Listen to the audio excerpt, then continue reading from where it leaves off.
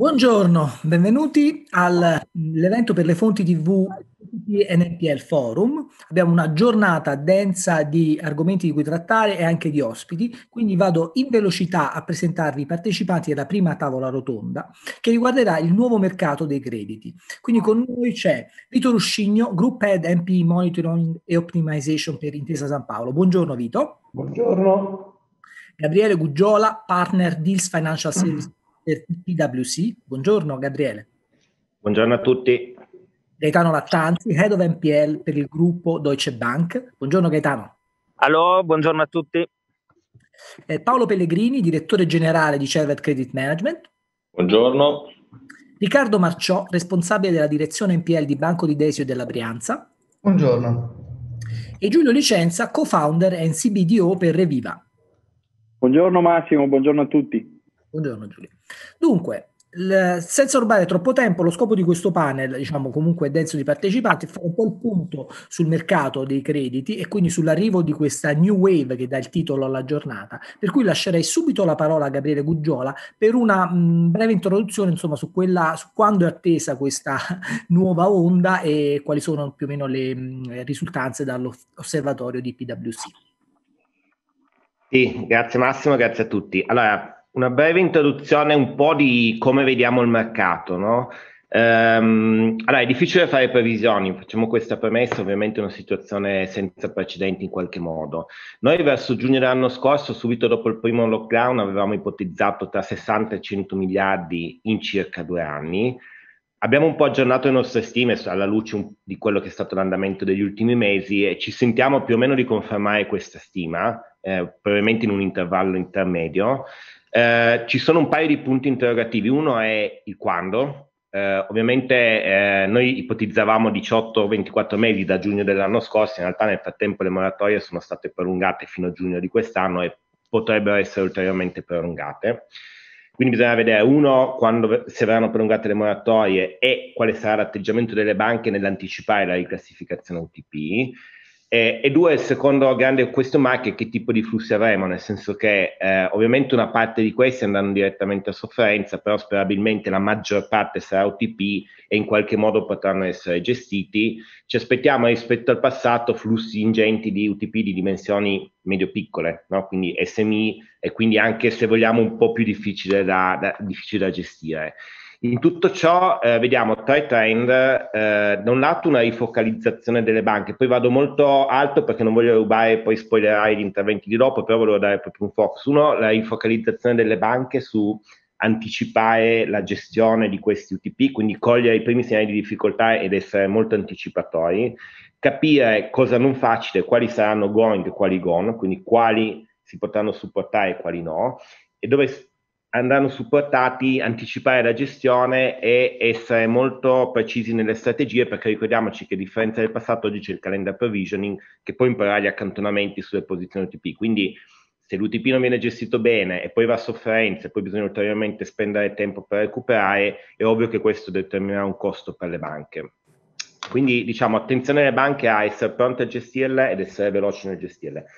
Mercato dei service, fortunatamente rispetto alla vecchia crisi il mercato di service a investitori è più strutturato, c'è un ecosistema, ci sono tanti service in qualche modo pronti a gestire la nuova ondata, ci sono tanti investitori che hanno già guardato l'Italia e tanti che vogliono vedere l'Italia.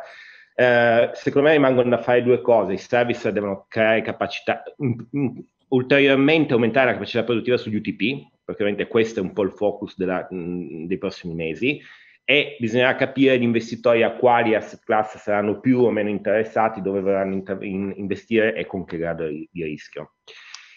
Trend, l'altro trend che vediamo è quello di crearsi sul mercato di strutture alternative come i fondi di credito, le SPV, le cat- veicoli di cattorizzazione, proprio per diciamo, fornire poi alle banche, investitori e service diverse modalità anche innovative di gestione degli UTP. Ci sono poi altri due fenomeni e poi qui mi chiudo e lascio poi la parola alla, a, ai colleghi. Eh, due fenomeni che secondo me sono rilevanti. Uno è tutto il tema del mercato secondario, un po' spinto dal regolatore europeo che sta rivedendo le normative in questo senso. Un po' spinto dal mercato perché stesso perché c'è un'esigenza di gestire per esempio eh, le code delle GAX, gestire e diciamo rimodulare i portafogli per efficientare la gestione, per rispettare i business plan e via discorrendo. Quindi c'è una forte spinta allo sviluppo del mercato secondario e quindi anche alla standardizzazione degli scambi, ad avere transazioni sempre più frequenti, anche magari di dimensioni più ridotte e, e questo è secondo me un trend che andrà avanti nel, nel prossimo futuro, soprattutto perché come abbiamo detto probabilmente i, i flussi nuovi saranno di posizione anche di dimensioni più ridotte. L'ultimo grande tema, un po' eh, da, da, tenere sott'occhio, è il tema delle cosiddette bad bank nazionali o eh, europee. Eh, c'è, forte, c'è, stata e c'è tuttora una forte discussione a livello europeo. Lì bisognerà capire due cose. Uno, ovviamente, come queste si inquadreranno nella normativa, sia sugli aiuti di Stato, sia sulla BRD, quindi quella normativa che regola i fallimenti bancari, sia che scope si vorrà eventualmente dare una bad bank nazionale, quindi dove, come, in che condizioni dovrà intervenire probabilmente dove ci sono situazioni di possibili difficoltà delle banche. Questo è più o meno come vediamo, proprio a, a grandi linee, come vediamo il mercato nei prossimi mesi. Grazie mille. Allora, insomma, direi che c'è parecchia carne al fuoco e abbiamo fatto una carrellata, insomma, di argomenti molto interessanti. Vorrei a questo punto sentire un po' il punto di vista eh, delle banche, quindi diciamo quali sono un po' le aspettative sia sul cambiamento nel modo di gestire i crediti che eh, diciamo ne, nella necessità di affrontare eh, la fine delle moratorie. Quindi chiederei a Vito Ruscigno di mh, portarci un po' il punto di vista appunto degli istituti di credito, tra l'altro quello di un grande istituto di credito di rilevanza sintesi, eh, sistemica e poi magari con gli altri vediamo se ci sono sono differenze con gli istituti diciamo, di dimensioni dif- differenti. Sì, Massimo, diciamo che Gabriele ha già affrontato un po' quelli che sono i temi di, di questo periodo, no? quindi tema moratorie, temi dell'evoluzione del mercato, bad bank e, e tema relativo al service. Partiamo dalla, dal mercato. Eh, il mercato diciamo che è in continua evoluzione, evoluzione che è determinata dal fatto che ovviamente il mercato italiano è il mercato tra i più maturi d'Europa, anche perché ha visto uh, nel, nel, tempo i maggiori volumi transatti e ahimè per, per, per, il sistema bancario italiano è anche quello con i più alti stock di NPL per le banche. Se dovessi dare un'etichetta al cambiamento del mercato, direi che il mercato da sofferenze centrico si sta spostando a UTP oriented. Questo è frutto di, fondamentalmente di due fattori. Da un lato, ovviamente, le, l'efficacia della GAX che ha ridotto sensibilmente eh, lo stock di sofferenze dai 200 miliardi del 2015 ai 60 miliardi del, della fine dell'anno scorso e quindi ha ridotto lo stock di eh, sofferenze cedibili, ma ancora di più, come diceva prima Gabriele, è, è gli interventi da parte del regolatore che tramite una serie di azioni, tra cui non ultimo il calendar provisioning, hanno ridotto le tempistiche a disposizione delle banche eh, per, per, gestire i crediti deteriorati, introducendo delle precise milestone in termini di assorbimento di capitale. Quindi le banche non hanno più a disposizione eh, il, un, un, tempo, diciamo, un, te- tempo, un, tempo, elevato per decidere se cedere o meno un credito, ma questa scelta deve essere fatta prima che il credito vada a sofferenza.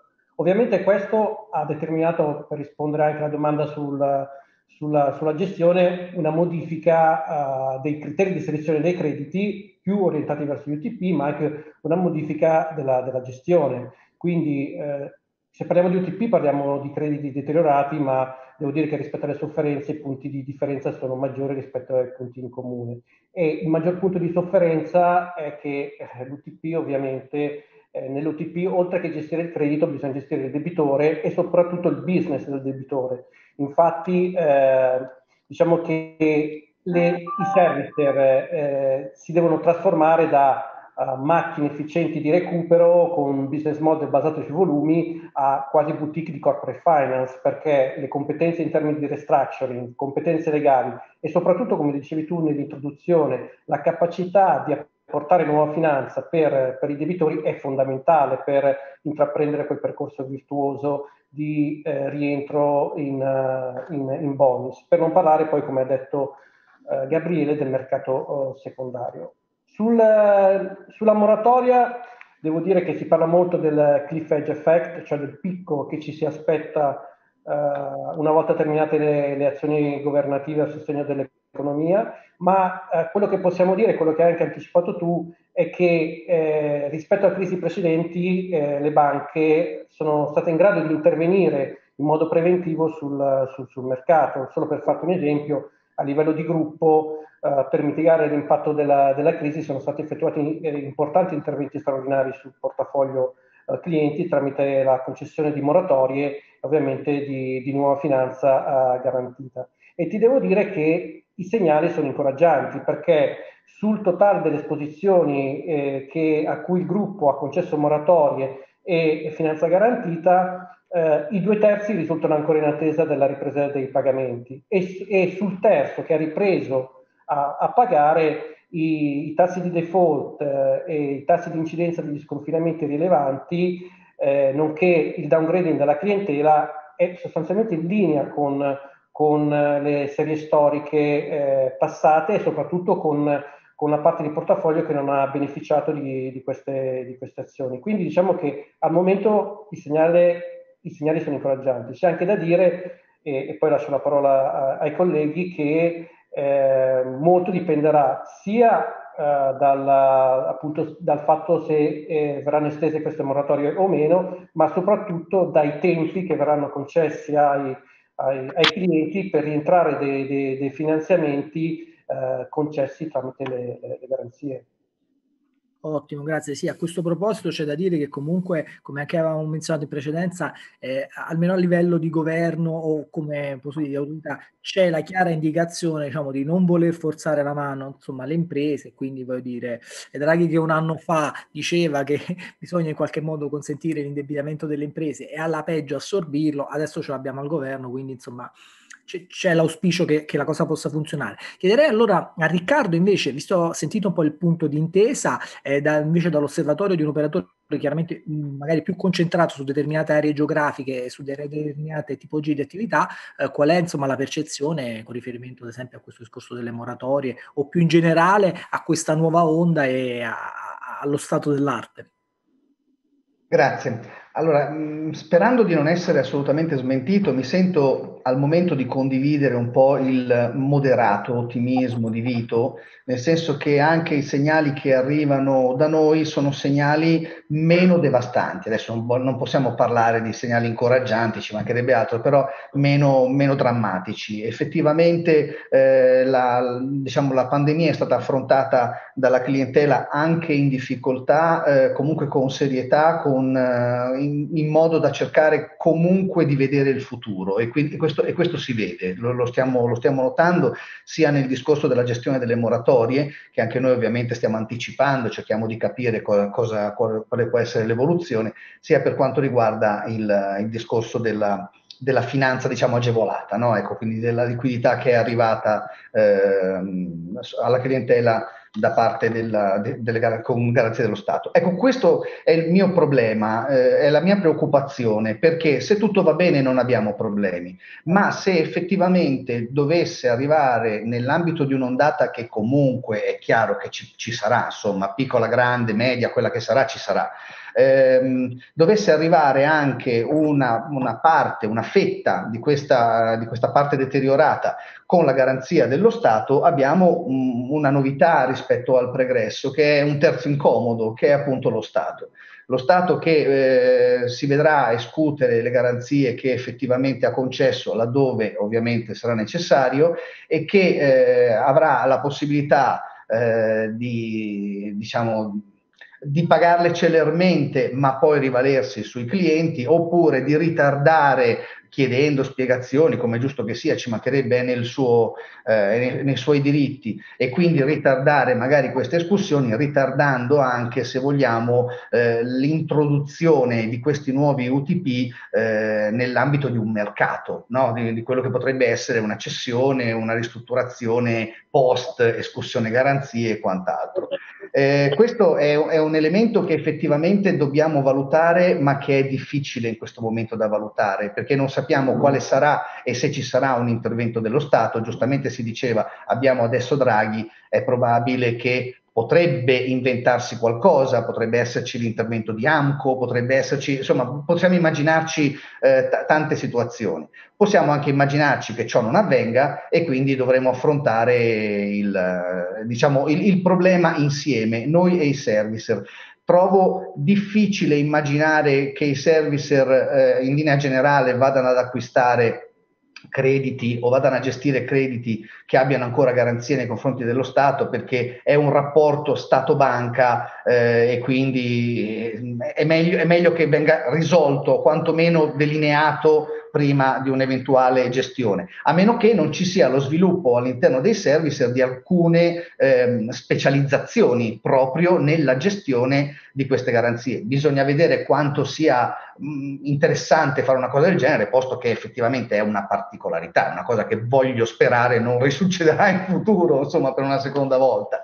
Ecco, questo è il vero problema. L'altro problema, eh, l'ha accennato Vito, so che ne parlerà anche, anche Paolo, ehm, e quindi lancio la palla a lui, è il discorso proprio del mercato UTP. Il mercato UTP, è, lo, ce lo diciamo sempre, un mercato completamente diverso, un mercato di clienti vivi, un mercato di clienti che devono essere eh, spesso e volentieri aiutati, eh, quindi nuova finanza, quindi la, le problematiche di far rientrare questa tipologia di crediti anche nelle GAX perché sono più difficili da gestire, più difficili da valutare, più difficili da ratare, portafogli di ovviamente clienti in, in UTP e per questo motivo eh, si affrontano, almeno si sono affrontati fino adesso, come anche quando si parla di portafogli, del, eh, una somma di single name, cioè è chiaro che eh, il servicer o l'investitore quando va a vedere un UTP oggetto di possibile cessione deve capire bene qual è il sottostante, qual è appunto la, do, dove poterlo rilanciare, dove poter finanziare e quant'altro. Quindi sono due diligence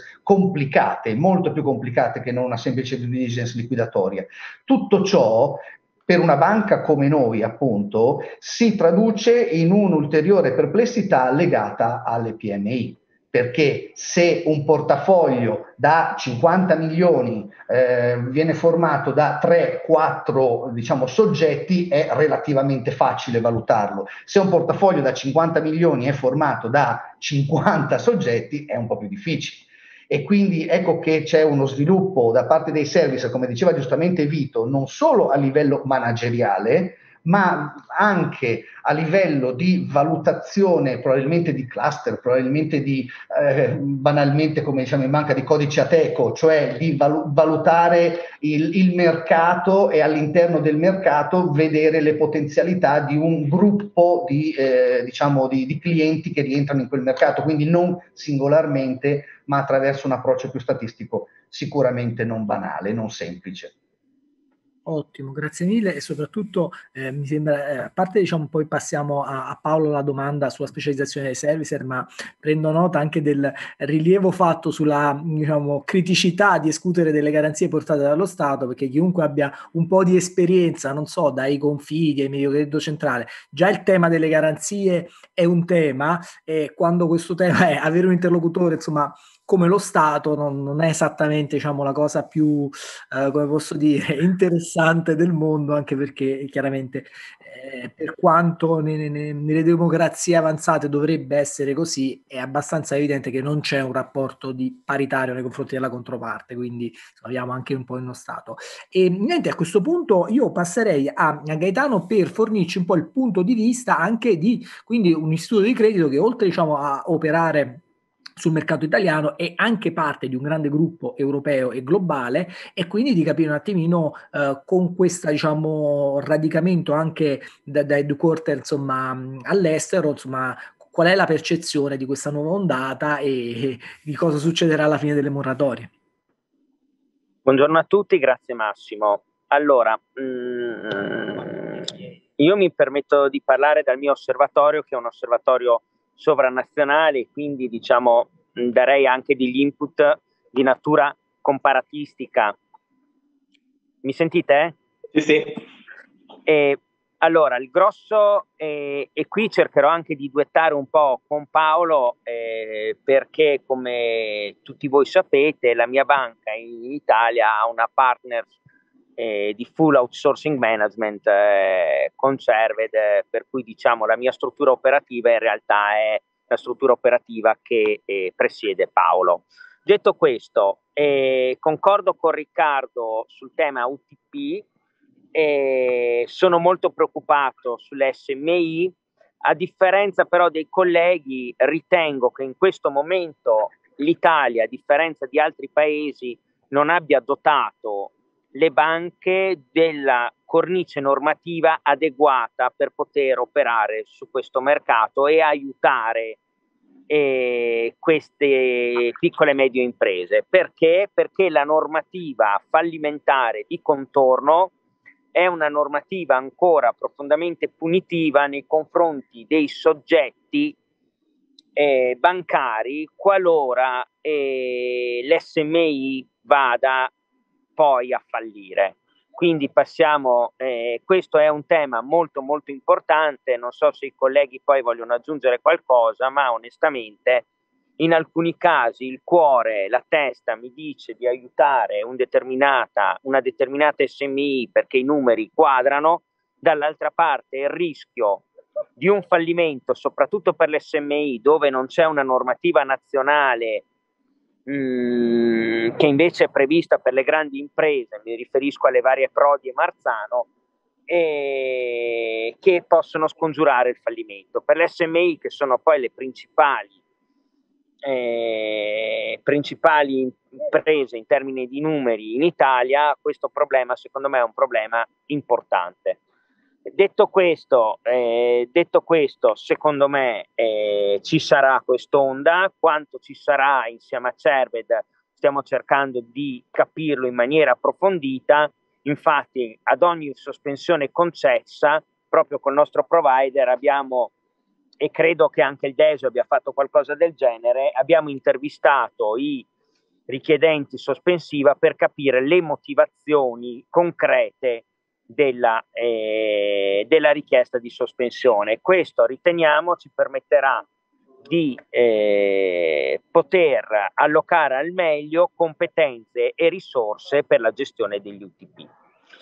Eh, questa crisi ha avuto, eh, la pandemia ha avuto anche degli effetti, non concentriamoci solo sugli UTP, ha avuto anche degli effetti sullo stock di NPL pendenti, mi riferisco in particolar modo alla sospensione delle procedure esecutive, alla riduzione delle aste, se non per quelle, quei tribunali che erano dotati dell'asta telematica, e, e soprattutto diciamo, una riduzione dei piani di distribuzione, da lì poi anche una, un'aggressività congiunta da parte dei principali servicer che se ricordo bene si sono fatti fronte, hanno fatto fronte comune verso il Ministero di Grazia e Giustizia per ottenere sostanzialmente un'accelerazione della, della ripartizione degli incassi pendenti, cosiddetti cash in court, e diciamo una pressione ulteriore per chi come noi, ad esempio, ha nel mutuo fondiario e quindi il privilegio ex articolo 41 la sua prevalenza.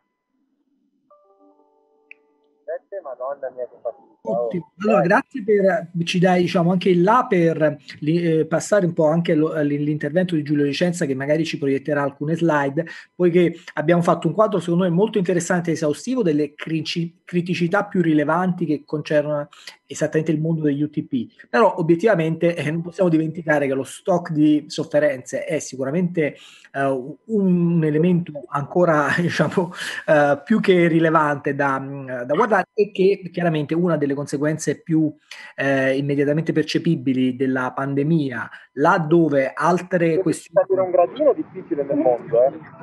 I moratori hanno consentito di spostare le aste, è stato più, più. C'è la parola a Giulio Lisci. Scusa Massimo, Massimo, scusami, mi sono perso anche, diciamo, un po' pu- due punti quindi per Riccardo poi.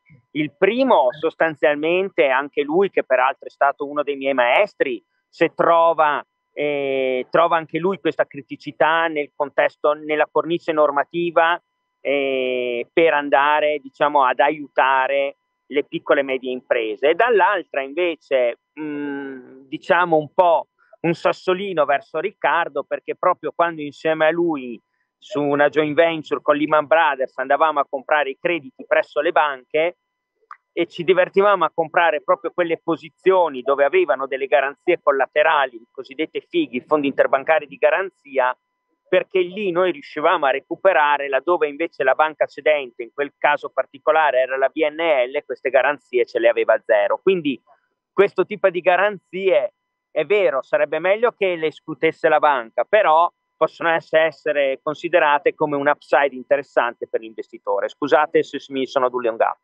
No, no, no, scusami tu, anzi mi, mi dai l'occasione invece di, di, riorientare un po', quindi facciamo attendere un attimo a Giulio perché prima di, di passare al discorso delle, delle, aste io invece farei intervenire Paolo eh, che diciamo in realtà anche da Riccardo era stato e a questo punto anche da Gaetano chiamato in causa più uh, volte diciamo dai relatori precedenti e per fornirci l'ultimo tassello più o meno del, della filiera produttiva che è eh, chiaramente il punto di vista dei servicer che quest'ondata dovranno gestire la laddove c'era ancora da digerire eh, chiaramente uno stock precedente non trascurabile e mh, più, da più parti alcuni osservatori hanno rilevato che a livello di sistema sicuramente la crescita del eh, carico di lavoro per gli operatori anche di grandi dimensioni come Cervede e come gli altri player è mh, probabilmente più che proporzionale rispetto a quella che è insomma un po' la struttura delle operations e questo diciamo richiede delle sfide anche in termini di, di processi operativi quindi non so eh, diciamo ti passo diverse patate bollenti e, e, e, ti lascio insomma un po' cercare di, di, di cucinarle No, no, ma è, diciamo che gli spunti sono stati tantissimi. Sono un po' in minoranza perché sono un, un service con verso tre spunti di tre banche, ma cerco di raccogliere diciamo, quello che, che, è emerso e dare delle risposte. Io penso che nel nostro ruolo eh, la cosa più importante è essere flessibili e veloci nel rispondere alle esigenze dei nostri clienti, che sono le banche e gli investitori, che cambiano nel tempo. No? Eh, penso che parte del successo delle, delle, operazioni che facciamo con alcune banche, tipo anche BHV, Deutsche Bank, è il fatto che noi eh, sviluppiamo un modello operativo in funzione di quello che era l'esigenza al momento in cui abbiamo, siamo partiti con la collaborazione, ma poi se nel tempo le cose cambiano e sono cambiate in modo abbastanza pesante, e se ci serve staffare un team di persone dedicate a gestire le richieste e le sospensioni verso CONSAP, noi abbiamo la capacità, la flessibilità e le competenze per farlo nel, nel momento in cui serve e gestire l'esigenza spot della banca. Quindi la capacità di essere veloci e flessibili è fondamentale. È ovvio che siamo di fronte a un momento in cui né, questo cambio di, di questa flessibilità eh, richiede qualcosa di più di una, no? di una, di una cioè, perché passare dalla gestione degli NPL agli UTP è un po' più che essere solo flessibile, no? vuol dire acquisire competenze e strutturarsi in un modo differente rispetto al passato. Ed è la sfida che sta, sta cioè, è sul tavolo di tutti i service, poi qualcuno è più avanti, qualcuno è più indietro, ognuno la prende da un angolo differente. Io, giusto per farvi capire l'entità della sfida, eh, gli UTP rispetto all'NPL sono tutta un'altra cosa, eh, perché qua è richiesta velocità, mentre negli NPL le cose sono statiche, sono ferme, ormai sono frizzate, gli UTP sono eh, dinamici, cambiano in sei mesi di tempo, fa la differenza sulla, sulla gestione di un'azienda. È richiesta capacità di, sono disomogenei, cioè le, diciamo, gli NPL è un po' come la morte, allinea tutti, no? alla fine si guarda il sottostante per valutare il, il valore. L'UTP è diverso se, se, l'azienda è un'azienda immobiliare, se è un'azienda industriale, se la dimensione, se è un privato, quindi cambia completamente la strategia gestionale sulla base del sottostante. Quindi e poi la terza cosa, la terza sfida è che mentre, e lì eh, colgo lo spunto di Riccardo, su poche posizioni grosse eh, le, le, modalità, essere una boutique di restructuring è qualcosa che ce ne sono parecchie in giro, no? ma sono poco scalabili, eh, la sfida sta nel trovare la modalità di gestire in modo industriale tutto il cluster delle PMI, che è il, il tessuto della nostra, del nostro, del nostro, della nostra, della nostra nazione, perché noi alla fine le, le, in termini di numerosità e di peso, le, tutte le aziende, tutti i 50 milioni di fatturato fanno il grosso dei portafogli sia in termini di GBV che di numerosità delle, delle banche. ed, è, ed è, proprio qui Paolo, scusami se ti interrompo, che ritengo che il quadro normativo di riferimento, cioè la normativa fallimentare, sia eh, desueta e punitiva per le banche. No, no, ma eh, ci sono vincoli normativi, vincoli delle, del calendar provisioning e necessità di, di, trovare un modo per fare triaging e quindi identificare velocemente anche sulla base di dati e quindi non soltanto di una, di una, di una gestione già vecchio stile, no, molto sartoriale dove uno iniziava in ordine alfabetico a guardare l'azienda che iniziava con l'A quando arrivavi alla Z erano passati 12, 12 mesi quindi bisogna trovare il modo di, di identificare, e, e, su questo abbiamo investito molto come Cerved, nel eh, sviluppare indicatori, strumenti che sulla base delle informazioni, dei dati delle aziende ci permette di fare questo triaging velocemente e non soltanto clusterizzare le aziende, ma anche suggerire al team di gestione la strategia più adatta. Poi ovviamente servirà sempre qualcuno che la studia, però è diverso se la studia da zero o se invece si concentra su quel cluster che magari ha maggiore possibilità di farcela, dedicando le migliori risorse per andare a, a lavorare su quelle posizioni. Quindi questa è la sfida per, per i service. Eh, noi mh, stiamo investendo molto in questa direzione e insomma, i primi riscontri sono anche diciamo, positivi in tal senso. L'ultimo elemento che però volevo mettere sul tavolo è che è talmente grossa la sfida che secondo me rispetto al passato deve cambiare anche un po' l'approccio dei service, cioè i service devono imparare un po' a fare sistema.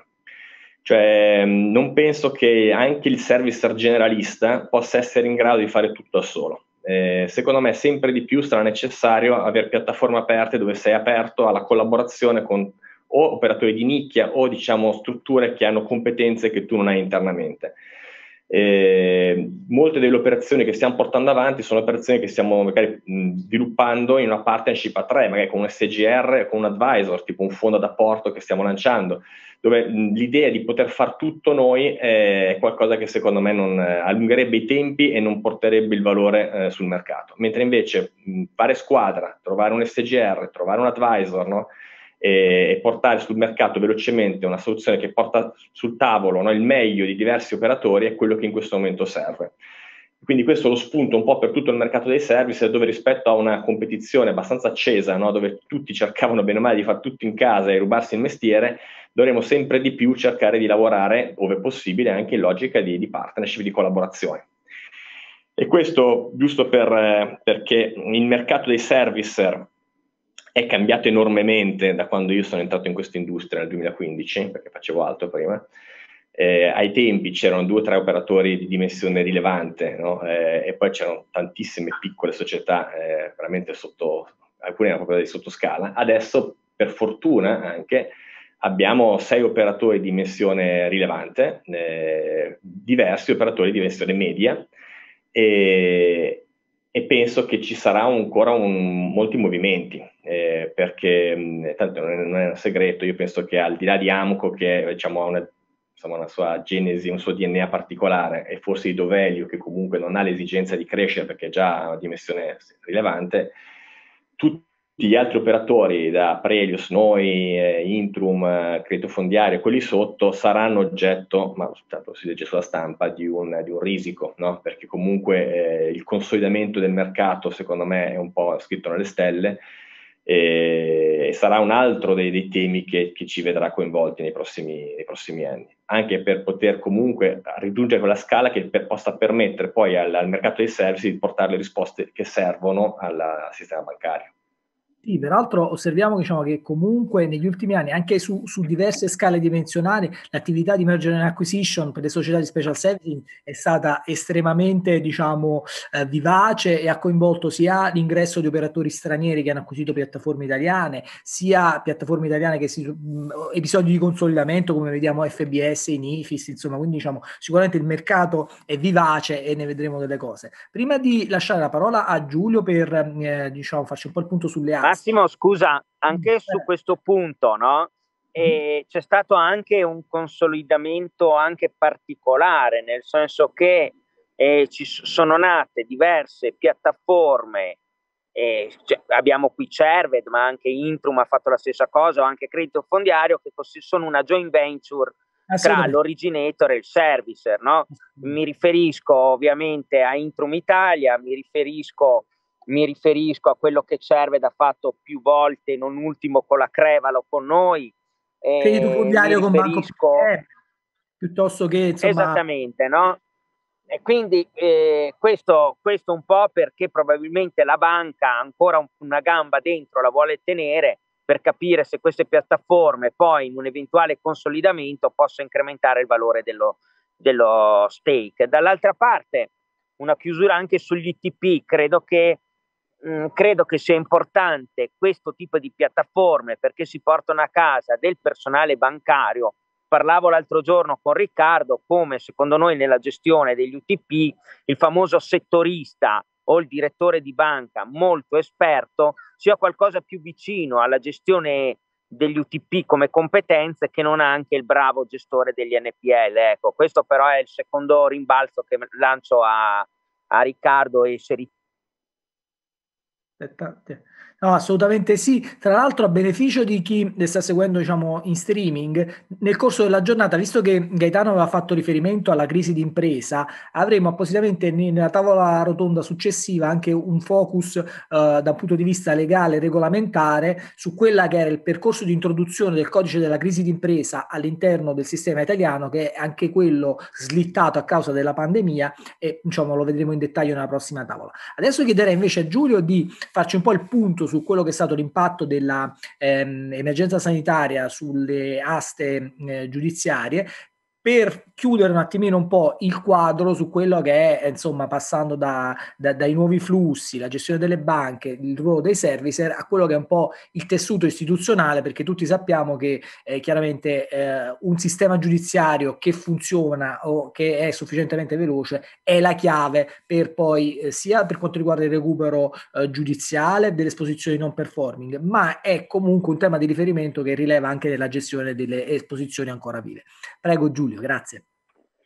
Grazie Massimo, grazie a tutti, grazie per l'invito. Eh, appunto sì, a chiusura un po' della panoramica che abbiamo visto, quindi a partire dal mercato, dalle cessioni, dal quadro regolamentare al servicing, alla parte che poi è direttamente sul campo del recupero, che è quello un po' di cui ci occupiamo noi. Per rispondere un po' alla tua domanda, per fare un quadro su quello che è eh, sono i recuperi tramite le aste giudiziarie, che è dove viene il 90% dei recuperi dei crediti secure. Ho preparato qualche slide che cercherò di presentare qualche dato nel modo più dinamico e più rapido possibile. Allora, condivido lo schermo. Eccoci qua, ditemi se vedete. Io vedo, vedo, perfetto, ottimo. Ottimo, quindi abbiamo preparato qualche slide con i dati delle aste immobiliari del 2020 e abbiamo visto anche come è iniziato il 2021. Prima però volevo fare un passo indietro, per chi magari non mi conosce, io sono Giulio Licenza e sono cofondatore di Reviva, che è la startup specializzata nella vivacizzazione delle aste. In sostanza aiutiamo servicer, banche e NPL investor ad aumentare il recupero dei crediti secured tramite la migliore vendita degli asset in asta ci serviamo di modelli previsionali con machine learning, intelligenza artificiale che ci permettono di prevedere gli esiti delle aste, analisi di big data e marketing. Brevemente, l'obiettivo di questo intervento qual è? Presentare quindi i dati delle aste del 2020, in qualche punto rapido, come è iniziato l'anno nel 2021 e trarre insieme qualche conclusione, magari. Come mai noi? Perché come startup abbiamo sviluppato un software che ci permette di estrarre i dati dal portale delle vendite pubbliche, che è dove per forza deve confluire ogni asta pubblicizzata. In questo modo riusciamo ad estrarre i dati, pulirli ed analizzarli, essere sicuri di avere tutti i dati delle aste eh, poste in vendita. Allora, inizia, iniziando da lotti e aste. Allora, per lotti si intende la singola unità immobiliare posta in vendita, mentre per aste intendiamo gli esperimenti di vendita, quindi quante volte è stata posta eh, in vendita nel corso dell'anno. Eh, abbiamo visto che gli immobili nel corso del 2020 sono stati 95.000 per 117.000 aste, che se lo paragoniamo al 2019 abbiamo una riduzione degli esperimenti di vendita del 54%. Dato significativo e possiamo vedere, eh, possiamo vedere, andando a fare uno spaccato mese su mese, capire meglio che cosa è successo. In sostanza i primi mesi del 2020 erano cominciati anche bene, con un aumento del 15% delle aste fissate rispetto al 2019, che lo vedete qui in blu. Poi, come sappiamo bene, da marzo, con lo scoppio della pandemia, si è bloccato tutto, quindi c'è stata la chiusura totale dei tribunali e poi la ripresa in ordine sparso da settembre, ottobre in poi c'è stata insomma una mezza ripresa. Quindi i ehm, provvedimenti che abbiamo visto sono stati A, sospensione delle aste, quelle che ricadevano all'interno del lockdown e progressiva ripresa in base al tribunale, sospensione delle procedure prima casa, che è quello che ha menzionato anche Gaetano prima, e la sospensione della liberazione degli immobili che colpisce non solo gli immobili venduti in asta, ma di tutto il libero mercato. Le aste fissate nel 2020 erano 162.000, di cui però 44.700 sono state sospese perché ricadevano nel lockdown immediatamente dopo e quindi non sono state ehm, potute celebrare le aste o banalmente i sopralluoghi o tutti gli adempimenti necessari. Quindi eh, quelle poi celebrate effettivamente sono state 117.000, il valore offerto complessivo di queste aste era di 21 billion, poi di quelle celebrate effettivamente era di 15,3. Quindi solo grazie al lockdown sono persi 6,6 billion di valore economico di immobili offerti. Un altro dato interessante da osservare nel 2020, come sempre aveva citato Gaetano prima, è la modalità di vendita. La variazione rispetto al 2019 è stata una tendenza di più aste telematiche, appunto per evitare che si presentassero persone presso le aule, anche per favorire diciamo, la partecipazione da remoto, quella di cui diciamo, nel 2020 ci siamo abituati un po' tutti a lavorare da remoto piuttosto anche acquistare o vendere. È cambiato un po' il processo dall'abitudine di acquistare fisicamente o vendere fisicamente prodotti e servizi a farlo in maniera remota. Parimenti, se possiamo dire, l'ha fatto anche il Tribunale, quindi proponendo più aste telematiche, la variazione è stata 22% in meno in rapporto percentuale delle aste presso il venditore, quindi la classica modalità analogica, eh, cartacea, in favore di un aumento di quelle miste, quindi telematiche e eh, presso il venditore, o puramente telematiche. Questo per dire che, che, anche il tribunale, in un certo senso, e gli organi delegati alla vendita si sono attrezzati per vendere un po' da remoto, un po' da fare da e-commerce, passatemi il termine. Il 2021. Allora, come abbiamo iniziato l'anno? Tieni di coordinare. Scusa Giulio, sono Gaetano. Vai Gaetano. Secondo me un, aspe- un aspetto che manca qui, ma che diciamo solo Paolo o gli altri colleghi delle banche ci possono dare, è che l'effetto indiretto di questo crollo delle aste ha comportato, almeno per quanto ci riguarda, ovviamente l'ingessamento della nostra struttura di Reoco, ma è, è tutto il team di vivacizzazione aste, ma soprattutto dall'altra una riduzione, una riduzione dei DPO, che sono ovviamente eh, frutto spesso della pressione eh, esercitata tramite l'azione esecutiva. Assolutamente, assolutamente. Concordo con te. Tornando a come è iniziato il 2021, allora siamo reduci dall'ultimo trimestre del 2020 con un trend molto positivo. Avevamo stimato all'inizio che gli immobili oggetto di sospensione, quindi classificati come prima casa, fossero fino al 36% degli immobili totali in vendita, quindi oscillavano fra il 25 e il 36. Abbiamo visto verso fine anno, diciamo, migliorare le nostre stime, dove lo, lo scostamento dalla normalità era del, dal 30 al meno 18% a dicembre. Quindi quello che ci aspettavamo all'inizio dell'anno era un trend che proseguiva in questa direzione, quindi passare dal meno 18 al meno 14 a tendere diciamo, sempre più vicino possibile alla, alla normalità. Quello che abbiamo osservato invece è stato molto diverso, ovvero a gennaio abbiamo iniziato l'anno con il freno a mano tirato, c'è stato di nuovo un crollo delle aste, meno quasi 40%, eh, e con una debole ricrescita eh, fino ad arrivare al meno, al meno 27. In sostanza, eh, guardando i risultati del primo quarter, dalle 65.000 questo quarter del 2020 ce ne sono state 44.000, una riduzione del 31, 20.500 aste perse, in sostanza di tre mesi se ne è lavorato uno in meno. Ehm, quali sono le cause? Allora, sospensione delle procedure prima casa sicuramente ne ha fatto parte, anche se era presente anche al termine del 2020. Quello che riteniamo essere, possono essere le cause anche l'inefficienza del, del sistema giustizia, che alla fine dell'anno del 2020 si sono trovati semplicemente a rifissare le vendite che erano state sospese nel periodo, nel periodo del lockdown o comunque di inattività dei tribunali, quindi le udienze erano già state fatte, c'era solo da fissare una nuova vendita. Calato, eh, calato, tutte le nuove udienze, diciamo cessato tutte le aste rifissate, c'era da fare nuove udienze di fronte a corti che non si sono mai realmente attrezzate a lavorare da remoto, si sono trovati un sacco di arretrati, di nuove udienze da fissare e questo non è avvenuto. Quindi abbiamo avuto un nuovo crollo e diciamo nuovo, mh, nuovo assestamento verso i parametri che avevamo ipotizzato all'inizio. Se andiamo a vedere i valori anche delle aste pubblicate, ehm, il valore complessivo dell'offerta minima, eh, abbiamo un risultato analogo. Quindi se guardiamo il risultato del quarter rispetto al 2020, che erano state pubblicate aste per 8,6 billion, in questo quarter è stato di 5,9, quindi ci siamo persi 2,8 billion di offerta di immobili. Quindi se posso... Andando in conclusione, eh, mi avvio alla conclusione dicendo che il calo, eh, abbiamo visto in primo luogo un calo delle aste fissate, quindi eh, il primo quarter è stato un 31% in meno rispetto al 2020, parimenti anche dell'offerta minima, 2,8 bilioni in meno. Cosa più significativa, un calo delle partecipazioni, quindi quello che stiamo osservando noi ehm, è che ha influito la sospensione della liberazione degli immobili, che ovviamente partecipare a un'asta per aggiudicarsi un bene senza sapere quando effettivamente ne entrerà in possesso è una variabile che il mercato ne tiene conto e sicuramente sta impattando in maniera molto significativa. Secondo, eh, vittime anche un po' della recessione economica che stiamo vivendo e dell'incertezza del lavoro. Terzo, difficoltà ad ottenere i sopralluoghi perché anche lato delegati alle vendite e custodia non c'è stato vera, un vero adattamento alle mutate, alle mutate condizioni. Cosa prevediamo per il corso del 2021? Uno scenario migliore, 30, 30 di giugno, la chiusura eh, delle sospensioni e quindi tendere di nuovo alla normalità che ci auguriamo possa riprendere verso settembre. Nel, nel peggiore degli scenari invece ci saranno ulteriori proroghe e, e diciamo la discriminante che ci fa percorrere lo scenario migliore o peggiore è data sostanzialmente dall'andamento della pandemia e della campagna vaccinale che ci auguriamo che possa eh, proseguire al meglio e più velocemente.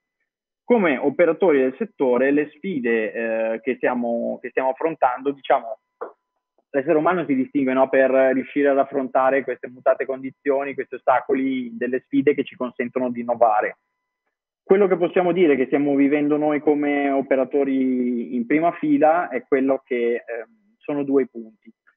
La prima è quella di abbattere le barriere che ci sono nell'acquisto degli immobili in asta rispetto all'acquisto degli immobili nel libero mercato.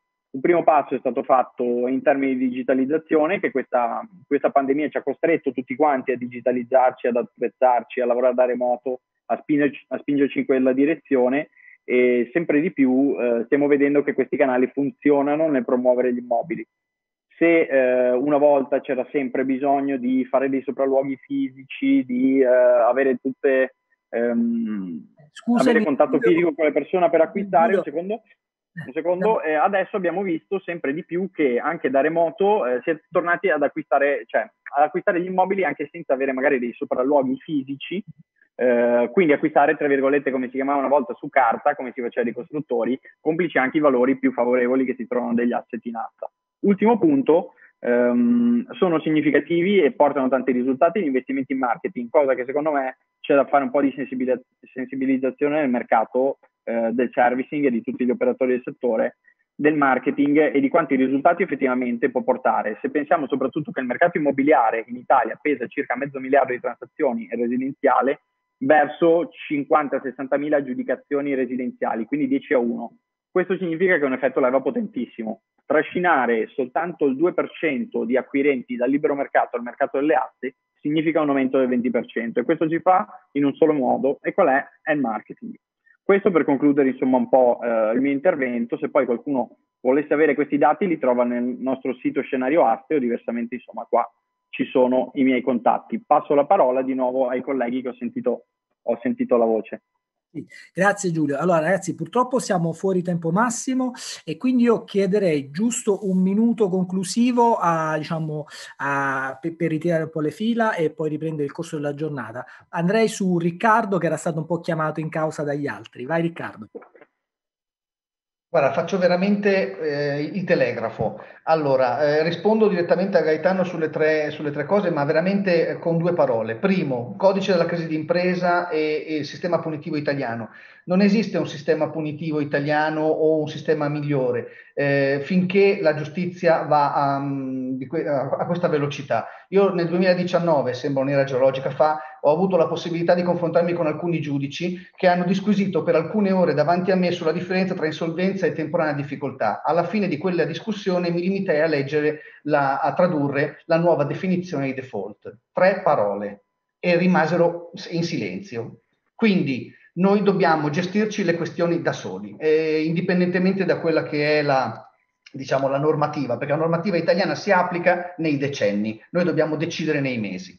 Il secondo, garanzie di Stato, opportunità per i servicer, sicuramente, però è vero Gaetano, ricordiamoci tutti che lo Stato farà molta difficoltà questa volta, perché se avesse avuto la possibilità di pagare immediatamente lo avrebbe fatto. Se ha utilizzato le banche lo ha fatto semplicemente perché non aveva la disponibilità della liquidità e se non ce l'aveva all'epoca non è detto che ce l'abbia quando andremo a discutere il, um, le garanzie e quindi mi aspetto che ogni tipo di eh, diciamo, eccezione verrà effettuata. Il service troverebbe completamente spuntato perché non sa che, di che eccezioni stiamo parlando, perché sono eccezioni che farebbe alla banca in sede di erogazione. Terza e ultima cosa, eh, il settorista eh, bancario è meglio di un gestore nel recupero crediti? Beh, nessuno me ne voglia. Io ho fatto per 20 anni o quasi il, il, recupero crediti. È la stessa differenza che c'è tra un becchino e un medico di un pronto soccorso. Sono due cose completamente diverse. È chiaro che la gestione di un cliente vivo non può essere che eh, fatta nel migliore dei modi da chi lavora in banca o ha lavorato in banca o ha esperienza di banca. Tutto questo. Grazie Riccardo. Vito? Grazie. Ma guarda, velocemente, secondo me eh, bisogna accelerare un po' con la campagna di, di, di vaccinazione per, per, vedere la luce in fondo al tunnel e, eh, e quindi avere un, un, termine delle moratorie che, eh, che provochi minori effetti su, sull'economia. Solo ripartendo con l'attività economica eh, ci potrà essere maggiore entrate per lo Stato, quindi maggiore disponibilità liquide per eh, eventualmente supportare le, le imprese e, e, soprattutto, come tu hai citato molte volte Draghi, eh, il debito non è un qualcosa di cattivo di per sé, ma il debito deve essere sostenibile e produttivo. Quindi anche tutto il debito creato in questo periodo, se eh, diventerà sostenibile e produttivo, potrà essere una leva per, per le imprese italiane. Ottimo. Gabriele? Telegrafico, se dovessi dire tre segnali da tenere sott'occhio nei prossimi mesi per capire l'andamento. Uno, l'incremento dei forborn, adesso che le moratorie in qualche modo devono essere trattate diversamente dal punto di vista classificatorio. Due, l'incremento degli UTP, vuoi per questioni classificatorie delle banche, vuoi perché proprio si manifesteranno le difficoltà. E tre, capire sul mercato quando si avranno le prime operazioni straordinarie relative a questi portafogli le, e le iniziative, vuoi degli operatori specializzati che già ci sono, vuoi di nuovi che potrebbero entrare sul mercato italiano. Ottimo, grazie mille. Paolo? Ma io solo un commento, secondo me eh, diciamo, bisogna sempre aspettarsi il meglio e prepararsi per il peggio, per cui lo spunto che do è se c'è spazio nei prossimi mesi per iniziare comunque a lavorare eh, per preparare le soluzioni, meglio farlo e poi magari non utilizzarle che invece aspettare che si manifesti il problema. Per cui... Ottimo, grazie Gaetano. Grazie mille, ma io più che dirvi che Dio ci aiuti, e, ci vediamo alla prossima volta. Grande. Giulio, se vuoi dire un 30 secondi finale che siamo fuori tempo?